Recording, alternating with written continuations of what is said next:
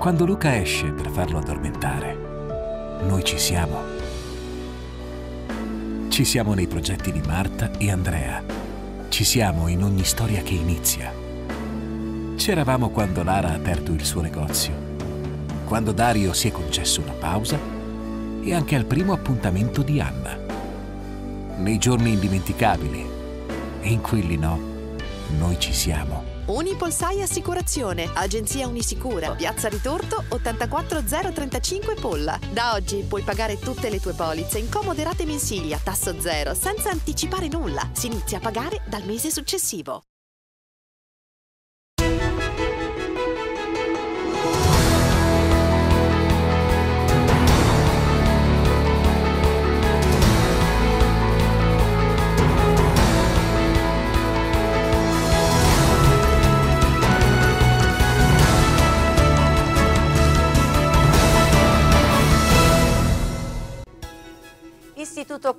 Comprensivo Polla Caggiano, i giudici del TAR e del Consiglio di Stato definiscono la vicenda, sede scolastica operativa ma accorpamento confermato. Incidente campagna, arresti domiciliari per la donna alla guida dell'auto che ha colpito la pattuglia dei carabinieri. Sala Consilina, pattuglia a piedi dei vigili urbani nel centro storico, l'iniziativa dell'amministrazione Cartolano e del comandante Salvatore della Luna Maggio. Montesano sulla Marcellana, domenica la messa in funzione della vettura del gruppo Guardie Ambientali d'Italia e il Preforum Day. Sant'Arsenio il 28 ottobre incontro sul tema La salute ci sta a cuore organizzato da BCC Montepruno e sezione AIA Sala Consilina.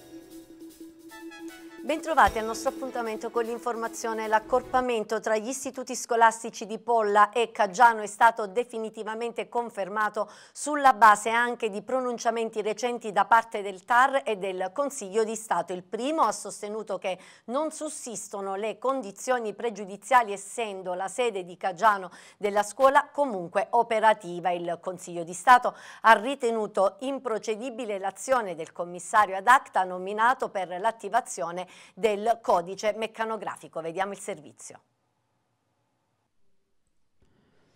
Sembra ormai chiusa e definita la questione accorpamento istituti scolastici nell'ambito del dimensionamento scolastico come stabilito dall'ufficio scolastico regionale e che ha visto accorpati gli istituti di Polla e Caggiano in un unico istituto comprensivo. Dai giudici amministrativi del TAR di Napoli e del Consiglio di Stato sembra che sia ormai stata fatta chiarezza sulla vicenda con la conferma dell'accorpamento tra i due istituti. Ad annunciarlo il sindaco di Polla Massimo Loviso che a seguito pubblicazione delle sentenze dei giudici amministrativi ha voluto dichiarare definitivamente chiusa la questione sperando nel contempo che le due amministrazioni possano tornare ad un confronto pacifico e collaborativo nell'esclusivo interesse delle comunità rappresentate. Con l'ordinanza del 10 ottobre scorso emessa dai giudici della quarta sezione del TAR Napoli e la successiva ordinanza del Consiglio di Stato pubblicata il 16 ottobre, vengono assunte decisioni che riguardano sia l'accorpamento degli istituti e sia il ruolo del commissario ad acta per il quale si era inizialmente chiesto l'intervento per l'attivazione del codice meccanografico per l'istituto di Caggiano. I giudici del TAR Napoli, in particolare, nella loro decisione ricordano come la delibera oggetto di esame da parte dei giudici in realtà non comporta gravi pregiudizi nell'ambito dell'attività didattica da assicurare agli alunni che frequentano l'istituto comprensivo di Caggiano, comune montano, dato che la sede scolastica resta comunque operativa, mentre si va solo a modificare la sede legale, che dunque viene accorpata all'Istituto Pollese, ed ha dunque deciso di respingere l'istanza cautelare proprio per la mancanza di pregiudizio grave e irreparabile. Nella successiva decisione dei giudici del Consiglio di Stato, pubblicata lo scorso 16 ottobre, inoltre, i giudici della settima sezione, nel rispondere ai chiarimenti richiesti dal commissario ad acta sulla reale azione operazione da svolgersi hanno dichiarato l'atto improcedibile per carenza di interesse. Due decisioni che dunque confermano l'accorpamento degli istituti scolastici, fermo restando la persistenza delle sedi scolastiche. Una decisione che commenta il sindaco di Polla Massimo Loviso, che si era costituito come parte nel contenzioso, sottolineando e ribadendo che il provvedimento varato dalla Regione non comporta la chiusura della sede scolastica, ma solo lo spostamento della sede legale e la condivisione dello stesso dirigente scolastico. Pertanto nulla cambia per gli studenti del comprensivo di Caggiano. Alla luce dunque di quanto emerso, auspica un ritorno a più tranquilli e pacati rapporti tra le due istituzioni che non comportano il ricorso presso i giudici amministrativi, ma che piuttosto siano basati su confronti costruttivi e collaborativi per il bene delle comunità rappresentate. Sono stati disposti gli arresti domiciliari per la donna che lo scorso 6 aprile era alla guida dell'auto che ha colpito violentemente la pattuglia dei carabinieri in servizio provocando il decesso di due militari e di un uomo di 75 anni. Questa mattina gli agenti della squadra mobile hanno dato seguito al provvedimento restrittivo richiesto dalla Procura della Repubblica di Salerno. Vediamo. Arresti domiciliari per la donna ritenuta responsabile della morte dei due carabinieri e anche di una terza persona rimasti tutti coinvolti nel tragico incidente stradale che si è verificato a Campagna il 6 aprile scorso.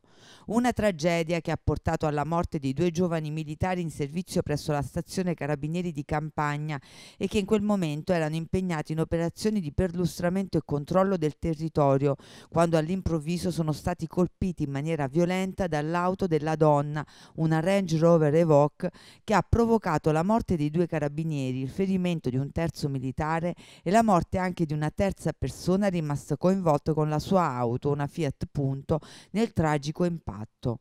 Questa mattina all'alba la squadra mobile di Salerno, coadiuvata dalla Direzione Centrale della Polizia Stradale di Roma e dal Gabinetto Centrale di Polizia Scientifica, ha dato seguito alla misura cautelativa degli arresti domiciliari a carico della donna alla guida del Range Rover, su disposizione del giudice per le indagini preliminari, che ha emesso l'ordinanza su richiesta della Procura della Repubblica di Salerno. Le indagini portate avanti a seguito del grave incidente hanno consentito di ricostruire la dinamica di quanto accaduto. Secondo la ricostruzione dell'incidente, pare che nella notte del 6 aprile scorso, mentre tre militari erano impegnati in un servizio perlustrativo del territorio, stavano svoltando verso sinistra quando sono stati raggiunti e colpiti in maniera violenta sulla fiancata destra dall'autovettura guidata dalla donna, raggiunta dal provvedimento restrittivo.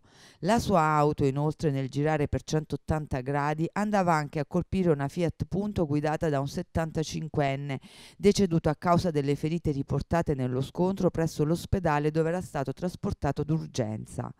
Lo scontro ha provocato l'immediata morte sul colpo di uno dei tre militari rimasti coinvolti nell'impatto, mentre per gli altri due si è reso necessario l'immediato trasporto presso il vicino ospedale di Eboli, dove uno di loro, nonostante i numerosi tentativi di salvargli la vita da parte dei sanitari, è purtroppo deceduto. Nel corso delle conseguenti indagini coordinate dalla Procura della Repubblica di Salerno e svolte dalla squadra mobile unitamente al laboratorio centrale Automotive Analytics del Servizio di Polizia Stradale di Roma, attraverso anche l'acquisizione e l'analisi dei filmati raccolti dalle telecamere di videosorveglianza, avvalendosi inoltre dei rilievi planimetrici e fotogrammetrici effettuati sul posto per ricostruire quanto accaduto, è stata ritenuta fondata da parte dei giudici la ricostruzione ricostruzione secondo cui la Range Rover guidata dalla donna sarebbe giunta sul luogo dell'impatto ad una velocità superiore ai 120 km orari, pertanto con un eccesso di velocità rispetto al consentito di oltre 60 km orari, in una zona peraltro ritenuta centro urbano e dove il limite di velocità concesso è di 50 km orari. Ciò ha portato alla perdita di controllo del veicolo che nonostante il tentativo di frenata ha colpito violentemente la pattuglia con a bordo i militari e la Fiat Punto, causando il decesso di tre delle quattro persone coinvolte. Intensificare i controlli nel centro storico di Sala Consilina tra le priorità dell'amministrazione comunale che, su iniziativa del vice sindaco Bartolo Lettieri e del delegato al centro storico Antonio Santarsiere, insieme al comandante dei vigili Salvatore della Luna Maggio, hanno deciso di predisporre pattuglie a piedi di agenti della Polizia Municipale.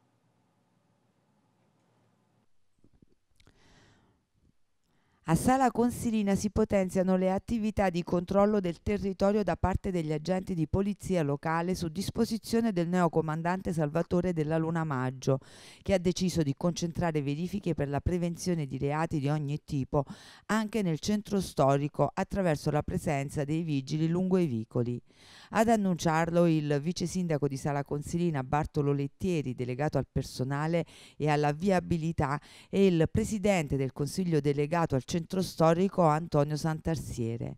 Rendere dunque Sala Consilina ed in particolare il centro storico più sicuro e controllato rientra tra le priorità dell'amministrazione Cartolano, che può contare sulla piena condivisione delle azioni anche del comandante della Polizia Municipale Salese della Luna Maggio ed ha dunque pensato di ricorrere a presidi di controlli preventivi, in particolare nelle aree del centro storico che risultano anche meno frequentate e dove pertanto è più facile che possano commettersi reati. L'annuncio della nuova disposizione è arrivata questa mattina, spiegando come è stata disposta una pattuglia di polizia locale a piedi che vigilerà sulla parte più antica del borgo nell'ambito di appositi servizi di controllo periodici e che interesseranno diverse zone dell'area storica. Si tratta, fanno sapere dall'amministrazione Cartolano ed in particolare il vice sindaco Bartolo Lettieri e il delegato al centro storico Antonio Santarsiere, di un segnale di vicinanza ai cittadini, specialmente a coloro che vivono nelle aree più svantaggiate del centro storico. Gli agenti avranno il compito di segnalare agli uffici competenti eventuali anomalie e di prevenire reati di varia natura, contribuendo così alla sicurezza e al miglioramento della qualità della vita nel cuore della città. Entra dunque nel vivo la nuova operazione sicurezza che interessa in particolare proprio la parte più antica di Sala Consilina, di suggestiva bellezza ma purtroppo spesso dimenticata, anche per effetto del continuo spostamento più a valle dei cittadini una zona che però va tutelata anche al fine di prevenire forme di reato di qualsiasi genere, in particolare per il valore culturale e turistico che potrebbe rivestire, oltre naturalmente al valore storico che racconta le radici e il processo di cambiamento della città salese. Ha preso il via il CPA di Salerno, il nuovo corso per adulti digitali che può contare su una classe di ben 20 iscritti e tra questi anche diversi laureati che hanno scelto il CPA per migliorare le loro competenze e le loro professionalità. Ci sono anche persone laureate tra i primi 20 iscritti al corso gratuito per adulti digitali che ha preso ufficialmente il via questa mattina in via Monticelli a Salerno presso la sede del Centro per l'istruzione degli adulti. La scuola, diretta da Mariella Montuori, è l'unica in Campania ad aver attivato questo tipo di corsi che la preside definisce una condizione per riqualificare le competenze, ma anche dare occasione ad adulti, uomini e donne di età compresa tra i 34 e i 50 anni, fuori dal mondo del lavoro, di trovare un'occupazione grazie al conseguimento della certificazione EIPAS 7 moduli. Cosa ti aspetta da questo corso? Ah, innanzitutto migliorare o per dire imparare più che altro perché veramente non ho una conoscenza eh, e quindi va bene magari nel futuro anche avere la possibilità di trovare un lavoro. È un attestato diciamo, digitale, comunque serve per usare il computer eh, e poi fa punteggio, quindi... Eh, la giornata di oggi in realtà è proprio un suggello di questa, eh, di questa azione. Insieme alla, alla dottoressa Montuori, la dirigente scolastica del CPIA, abbiamo praticamente avviato già da, uh, da qualche tempo una collaborazione. Questa è un'azione concreta e la Regione Campania con il mondo dell'istruzione è assolutamente presente sul territorio per garantire la dignità a tutte le persone attraverso l'inserimento, la ricollocazione e la riqualificazione nel mondo del lavoro. Eh, noi come SCIPIA di Salerno siamo l'unico SCIPIA della Campania a erogare questa tipologia di corsi rivolti a persone disoccupate, inoccupate tra i 34 e i 50 anni eh, oppure con un, del, una fascia di reddito molto bassa per dare loro l'opportunità appunto di reinserirsi nel mondo del lavoro. E questa iniziativa che rientra nel progetto Adulti Digitali, percorsi di formazione per il lavoro e rientra nel mosaico mosaico di opportunità che in Regione Campania appunto stiamo provando ad offrire. Il progetto che è finanziato dal Fondo per la Repubblica Digitale è promosso da Indire, Indire l'Istituto eh, di, Nazionale di Ricerca, Innovazione e Ricerca Educativa ed è svolto in partenariato appunto con il sistema dei CIPIA e con l'Università Federico II di Napoli.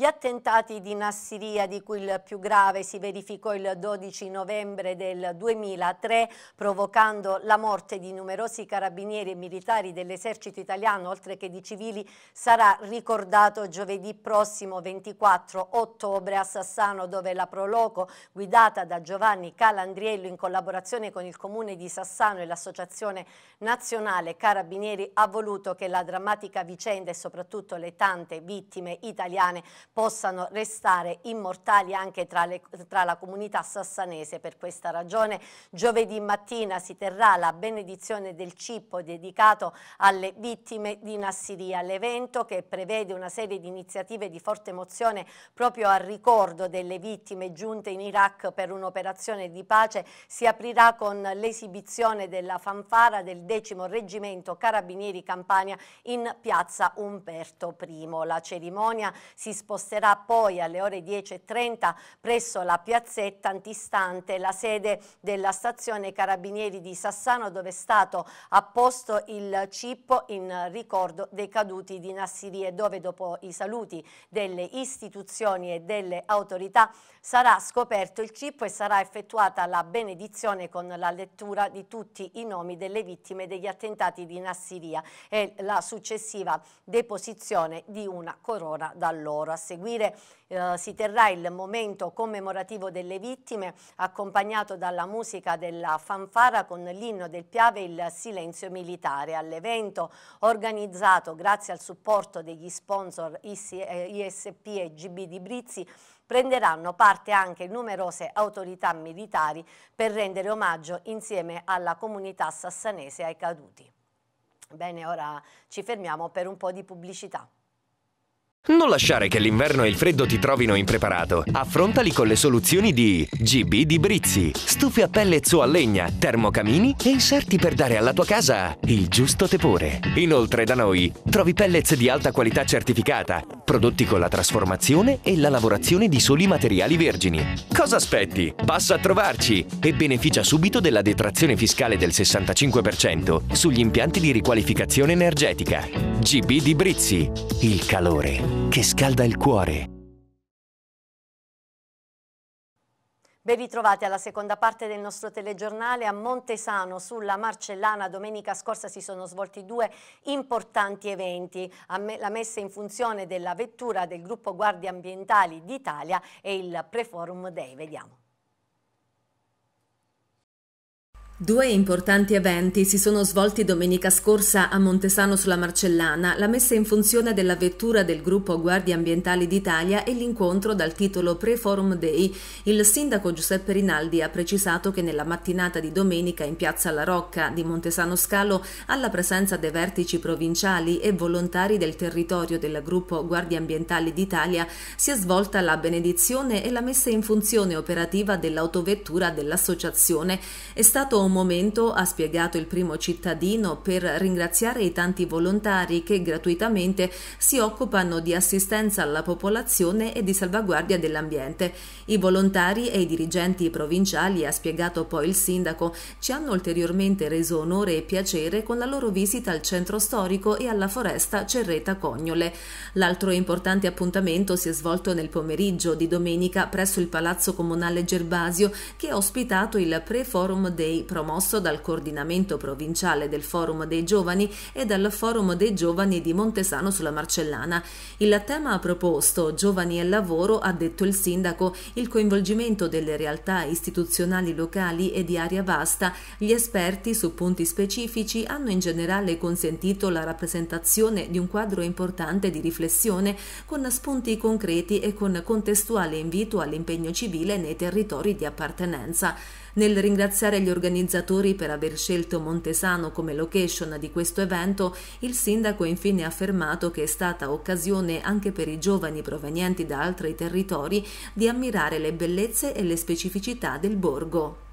Sport e salute camminano insieme per sensibilizzare su entrambe le tematiche scende in campo la BCC Montepruno che insieme alla sezione AIA di Sala Consilina e al Comitato regionale Campania della FIGC ha organizzato per lunedì 28 ottobre un incontro dal titolo La salute ci sta a cuore che si svolgerà presso la Sala Cultura della BCC Montepruno a Sant'Arsenio. La BCC Montepruno vicina anche alle associazioni sportive al fine di diffondere sempre più il valore dello sport per la tutela della salute. Nell'ambito di tale iniziativa, l'Istituto di Credito diretto da Michele Albanese ha messo a disposizione della FIGC Italia, Comitato regionale Campania e dell'Associazione Italiana Arbitri, sezione di Sala Consilina Antonio Parrella, la Sala Cultura della sede di Sant'Arsenio della Banca per discutere di un progetto che vede coinvolti oltre alla BCC Montepruno anche le associazioni organizzatrici. La presentazione del progetto è prevista per lunedì prossimo 28 ottobre alle ore 17.30 nell'ambito dell'appuntamento di grande spessore divulgativo e scientifico. Il tema della salute nello sport rappresenta un cardine per questa attività e la giusta prevenzione cardiovascolare nello sportivo è elemento fondamentale per non correre rischi, avendo la necessaria consapevolezza di quello che si sta facendo. L'evento, dal titolo La salute ci sta a cuore, punta a sensibilizzare gli sportivi sull'importanza della prevenzione sanitaria. Ad aprire i lavori sarà il direttore generale della BCC Montepruno Michele Albanese che ha spiegato rinnoviamo la nostra collaborazione con la sezione AIA di Sala Consilina Antonio Parrella per discutere ed approfondire tematiche rilevanti nel mondo dello sport e non solo. Siamo particolarmente felici, ha proseguito il direttore albanese, di tenere presso la nostra sede questo evento con rinomati professionisti specializzati in questa materia. La prevenzione nello sport e anche nella vita è indispensabile e dare alla nostra comunità elementi per aumentare la sensibilizzazione e la consapevolezza è la strada migliore per continuare a svolgere al meglio il nostro ruolo. Enorme anche la soddisfazione del presidente della sezione AIA di Sala Consilina, Manuel Robilotta, il quale ha dato risalto ad un evento importantissimo per la salute dei propri arbitri e degli atleti che esercitano attività sportive nei campi del territorio. L'evento vedrà la partecipazione e gli interventi di numerosi relatori esperti dell'argomento.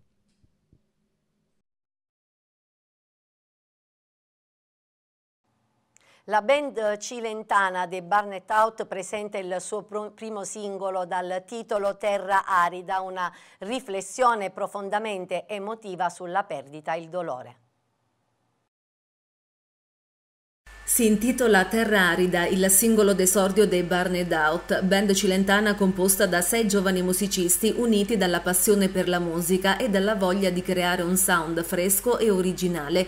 Il gruppo si distingue per la presenza di due voci principali, Rosa Trotta e Giovanni Radice, in arte John Root, con un timbro vocale in contrasto ma unico nel loro genere. Alla chitarra Mario Costanzo, abile nel fondere melodie coinvolgenti e potenti assoli, al basso Antonio Lamoglie, cuore ritmico del gruppo, al piano Emilio Vergati e Dante Cariello alla batteria. Nonostante la recente formazione, la band ha già iniziato a farsi notare nel Cilento aprendo il concerto dei Jalis a Sapri e suonando a Torraca, Capitello e Villammare più volte. Il brano racconta la band e una riflessione profondamente emotiva sulla perdita e il dolore. L'autore descrive una relazione finita dove la persona amata se n'è andata, lasciando dentro di lui un vuoto incolmabile, una terra arida. Il testo esplora i temi della colpa, del pentimento e del rimpianto per azioni passate, accompagnati da un senso di impotenza e distacco emotivo. L'autore, spiegano ancora i Burned Out, ammette di avere commesso errori e riflette su come il dolore sia amplificato dal ricordo dei momenti felici che ora sembrano irraggiungibili. C'è una lotta interiore tra il desiderio di ricostruire ciò che è stato perso e la consapevolezza che ormai è troppo tardi. Il ritornello enfatizza il senso di vuoto e solitudine che l'autore prova dopo la separazione. La particolarità del brano, concludono dalla band, è che il testo è raccontato da tutte e due le parti con due soggetti. Bene, con la musica termina il nostro telegiornale. Io vi ringrazio per essere stati con noi e vi auguro un buon proseguimento.